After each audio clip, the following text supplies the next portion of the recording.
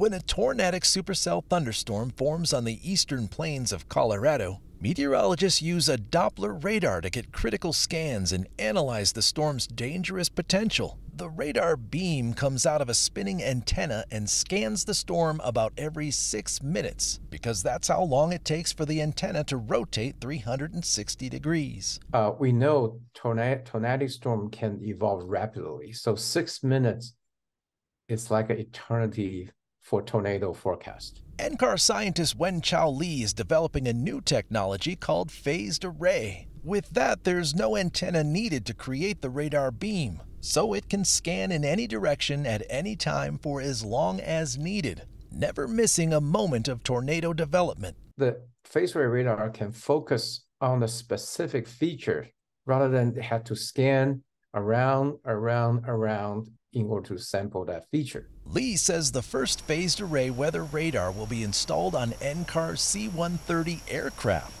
The technology itself will get evaluated while scientists use it for research. Another capability of phased array radar is something called dual polarization scanning. It allows meteorologists to see the microphysics of cloud particles. Ground-based Doppler has that ability, but for the first time, they'll be able to study that detail of storm formation and precipitation at close range on an aircraft. It, it's excitement in the potential of you using this technology to advance science to ultimately save lives and properties. Meteorologist Cory Reppenhagen, 9 News.